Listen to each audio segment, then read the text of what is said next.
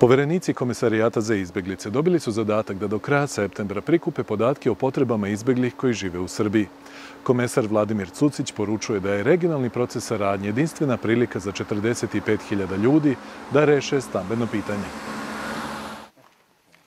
Od preko 300 miliona evra koji su projektovani za zbrinjavanje 16.780 izbjegličkih porodica u Srbiji, već je obezbeđeno 240 miliona i ljudi kojima je potrebna pomoć neizostavno treba da prijave svoje potrebe, ukazuje Vladimir Cucić. Nik se javi svojim povjerenicima. Ako misle da im još nešto nedostaje. Ako misle počeli su kuću pa im treba taj materijal još. Ako misle da su počeli neki mali posao pa im treba para da za to ekonomsko osnaživanje. Mi dajemo ta bespovratna sredstva, ali smo spremni da idemo i prema službi, nacionalnoj službi zapošljavanja i prema svima drugim. Mislim da ćemo sad u narednom periodu probati sa tim socijalnim preduzetništvom i za drugarstvo. Ako misle da imaju plac pa ne mogu da zidaju, pa možda će mi vršiti posao montažna kuća. Ako misle da više ne mogu, da im je dosta svega, pa da hoće da odu u dom za stare. Ako misle da trebaju da se vrate. Ako misle da nema drugog rešenja nego dajte čekat ću taj stan. Šta god da misle da je rešenje. Za njih, za njihovu decu. Da se jave povereniku. Da se jave nama. E, da se jave savjetu za migracije u svoje opšte. Regionalni proces usmeren je na stambeno zbrinjavanje najugroženijih, ali se borba za povraćaj svih prava izbeglih nastavlja. Tu je Anić G. sporazum o sukcesiji nešto što je i, i ne nesmetan, nediskriminatoran, stalan, dostupan, što je moguće više besplatan pristup pravima, to je nešto što, što, što je nama bila konstanta na početku i sad i bit će dokle god je ovaj tim ovdje. Jedna od osoba koja je poslušala savete humanitaraca da treba da zatraži stambeno zbrinjavanje je Gordana Prelina, koja je pre rata imala stanarsko pravo u Pakracu. Bili smo i do Strasbura i to nije ništa priznato i onda sam čekala. Bila sam u tom smještaju šest godina i onda su mi ponudili tu. Ja sam prihvatila u 11. mjesecu. 23. desetog sam dobila ključeve, 11. 11. ja sam bila. I kakvi su utisci? Super. Jesu. Režije su takve kakve su. Ono što je prošlo ono iza mene. Ja sam sad smirla, imam svoj kut. Navodno, istrat neće niko. E sad doćemo moći odkupiti, to stvar za sebe. A vi biste želili da otkupite? Pa normalno. I za psa ostane lanac. Je li tako? U prethodnom roku za stambeno zbrinjavanje bivših nosilaca stanarskog prava u Hrvatskoj, koji je završen 30. aprila, prijavilo se preko hiljadu porodica. Taj rok bi u skladu sa duhom regionalnog procesa saradnje uskoro trebalo ponovo da bude otvoren, kaže prvi operativac Hrvatske vlade za stambeno zbrinjavanje Stanko Janić. Važno je sada da budu aktivni, da dopunjuju svoju dokumentaciju u svojim zahtjevima i u slučaju što je najvažnije ukoliko promijeni adresu boravka, to obavijeste e, urede gdje su se obraćali kako bi mogli dobiti potencijalno nove upiti. Počesto je to problem te komunikacije kada se promijeni adresa. Za razliku od Gordane Prljine, koja se vratila u Hrvatsku, porodica Đokić, koja je 1991. izbjegla iz Dubrovnika, odlučila je da ostane u Herceg Novom, gdje su stigli pre 21 godine. Pre mjesec dana uselili su se u naselje montažnih kuća u Sutorini, a ovih dana trebalo bi da podnesu zahtev za dobijanje statusa strancem sa stalnim boravištem za celu porodicu. Pa sam moram ići u Dubrovnik pa ću vaditi papire tamo. Uh -huh. Tamo, tamo ovaj, domovnicu i ovaj pa da. Šta ću? Koliko će vas živjeti ovdje? Nas je četvro i majka će doći pet, a ono, pošto ona malo kod sestre, malo kod mene, tako. Kolika je kuća? Kuća ima skoro 50 krata, ima dvije sobe, njeni borak, kuhinja, kupatilo, hodnik, terasa. Ja sam prezadovoljan. Malo je poznat podatak da je Crna Gora u jednom trenutku imala 130.000 izbeglih interno raseljenih, što je činilo 25% stanovništva te zemlje, kaže ministar rada i socijalnog staranja Suodin Umanović. Danas u Crnoj Gori živi 3282 izbeglih i 8665 raseljenih, što je 4 od stanovnika.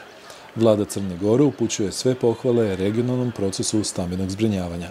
Osim te dobre saradnje između zemalja u okruženju, ovo je put kako e, jedan problem koji se zove raseljeništvo može uz pomoć međunarodne zajednice i da se na kvalitetan način privede kraju. Naša potraživanja idu u pravcu e, izgradnje 907 stambenih jedinica, obezbiđivanje građevinskog materijala za 120 domaćinstava, izgradnju nekih 60 montažnih kuća i izgradnju 90 e, smještajnih jedinica za dom starih u pljevljima koji ćemo izgraditi kroz ovaj projekat. Na ovaj način mi želimo da stambeno zbrinemo oko 1177 e, domaćinstava ili nešto preko 6000 lica koji pripadaju tim domaćinstvima. Naravno, akcenat bacamo ovaj, na kamp Konik e, koji je u Podgorici i koji je da tako kažem, najurgentniji u pravcu e, stambenog rešavanja. Crna Gora je u okviru regionalnog procesa dobila mogućnost da zbrine interno raseljene sa Kosova i Metohije, koji žele trajno da ostanu. Jedna od njih je Dragana Vukićević, nekadašnja nastavnica likovnog u Pećkoj školi Boris Vukmirović. Sa čerkom Natašom i sinom Nebojšom danas živi u Sutomoru.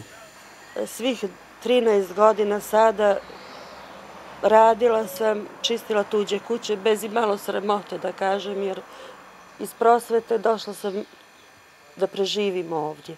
Ali sam uspela da odgojim te, to dvoje dece, da ih odškolujem, da budu to baš dobra deca, da se ponosim sa njima. Živimo u Zaječarsko odmaralište. A to odmaralište je prodato pre nekoliko meseci. Novi vlasnici zahtevaju od stanara ovog mini kolektivnog centra da se odmah isele. Tada su Dragani u pomoć priskočile dve porodice iz Novog Sada i Rusije, kada su čuli za mogućnost da putem regionalnog procesa saradnje dobije stambeno zbrinjavanje. Dali su joj novac da kupi plac od 150 kvadrata, što je uslov za dobijanje montažne kuće. Za uzvrat ona će narednih godina njima besplatno održavati njihove vikendice. U ovom dijelu Sutomora su četiri porodice sa Kosova kupile placeve i UNHCR u saradnji sa svojim partnerima im je pomogao da naprave kuće. Pričamo o ove dvije montažne e, kuće iza nas i dvije kuće od e, čvrste građe gdje smo učestvovali u izgradnji. Nadamo se da će u okviru regionalnog projekta za stambeno zbrinjavanje porodice kao što je Draganina biti zbrinute. Direktor Vojvođanskog fonda za pružanje pomoći izbeglim, prognanim i raseljenim licima u poslednje vreme stalno ukazuje da je za uspešnu integraciju izbeglih do 2008. odnosno početka svetske ekonomske krize bilo dovoljno stambeno zbrinjavanje, a da je od tada neophodan dodatak za ekonomsko osnaživanje. Iz toga proističe da je neophodno da i izbeglice same budu aktivnije, da prate svaku mogućnost, javni poziv, realizaciju bilo kakvog projekta, ne samo kada je u pitanju stambeno zbrinjavanje, nego i ekonomsko osnaživanje, rešavanje statusnih pitanja, dokumenta i tako dalje, da u tim pozivima, odnosno konkursima, učestvuju i da pokušaju na taj način, dakle uz pomoć društvene zajednice, da reše probleme koje najčešće oni ne mogu da reše sami. Upravo u cilju ekonomskog osnaživanja Evropska unija je preko Kera i Protekte za 93 izbeglih i raseljenih u Niškom, Pčinskom i Piratskom okrugu finansirala ekonomske pakete vredne po 2000 evra.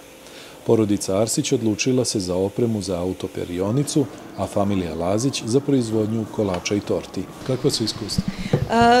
Fina su iskustva, dobro je, za početak nije loše, tako da vidjet ćemo, nadam se da će biti bolje, jer još uvek je to početak dok se sve to razradi, tako da... Vidim da imate ceo katalog torti, to može po naručbini. Jeste, po naručbini se uglavnom rade torte da bi e, bili, bile sve taze, sve dekoraciju kakvu god žele mušteri i tako. Da. Znači nema problema ako neki švrća traži nodija ili vini pua? Nema nikakvih problema. Ovih dana bi smo počeli sa, sa radom, nadam se da će posao ići u, u ovaj dosta dobro, kažem dobra lokacija, dobro sve. Inače, svi kao članovi porodice, svi se angažujemo maksimalno da poboljšamo rad i kvalitet. Nadam se da će to doći do uspeha kako bismo mogli na neki način da, ovaj, da dođemo do jedne malo lakše finansijske situacije, da rešimo možda i stamino pitanje i na neki način sebi olakšamo život. Da priliku za stambeno zbrinjavanje koju pruža regionalni proces saradnje ne treba propustiti, najbolje dokazuje podatak da se mnogi programi prekidaju. Tako, na primjer, UNHCR je zbog ekonomske krize i novih žarišta u svetu primoran da zatvori kancelariju u Kraljevu zaključno sa 31. avgustom, a ova emisija također prestaje da se emituje.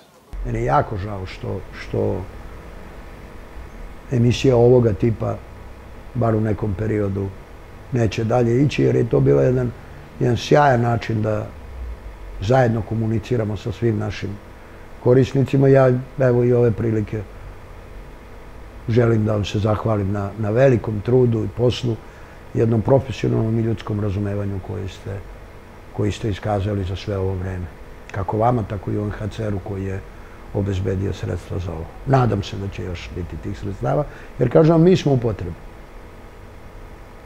Jer kad vi budete prestali da, da izveštavate o tome, ja ne vidim način da se ljudi drugačije o tome informišu, a ako se o tome ne govori, onda problem ne postoji. Jednostavno morate da shvatite da je 20 i godina prošlo. Da smo uspeli da skrenemo žižu interesovanja kako domaću, tako i međunarodnu, a i zemalje u regionu i da će to svetlo biti na tom problemu još jedno kratko vreme. Posle toga kad se svetla izgase, nemojte više nikad tražiti. I to je, ja mislim, i naj, najpoštenija i najjednostavnija poruka koju ja imam da prenesem. Najvažnija informacija za izbegle koji žive u Srbiji je da su poverenici u svim opštinama i gradovima dobili zadatak od komesara Cucića da do kraja septembra naprave pregled svih potreba izbeglih. Od ljudi koji su u bilo kojoj potrebi očekuje se da sami odu kod poverenika i tamo daju potrebne podatke.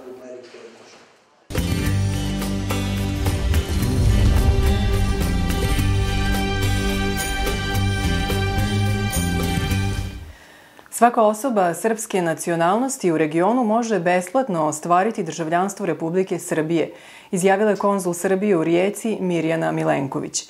Tokom posete Karlovcu najavila je otvaranje radnih mesta u sklopu investiranja srpskih firmi u Hrvatskoj. Veće srpske nacionalne manjine grada Slatine pokrenulo je inicijativu kod Ministarstva regionalnog razvoja da se korisnici obnove oslobode troškova plaćanja ucrtavanja obnovljenih kuća u katastarske knjige. Prioritet crnogorske vlade u narednom periodu biće Kamp Konik. Premijer Igor Lukšić istakao je da su trajne i održiva rešenja uz mogućnost započinjanja novog života jedini dostojanstveni načini regulisanja ovog pitanja. Povodom Svetskog dana izbeglica federalni ministar za izbeglice Bosne i Hercegovine Adil Osmanović poklonio je deci iz osnovnih škola u Rogatici, Višegradu i Foči 55 laptopova sa internet konekcijom. Predsednik nadzornog odbora Tesla banke Milorad Pupovac zatražio je da banka daje više kredita u skladu sa osnivačkom misijom i namerom. Pupovac je najavio nastavak do kapitalizacije. U Etnografskom muzeju u sredu 27. juna u okviru manifestacije Dani kulture Srba u izbeglištvu održan je program pod nazivom Zvuci zavičaja.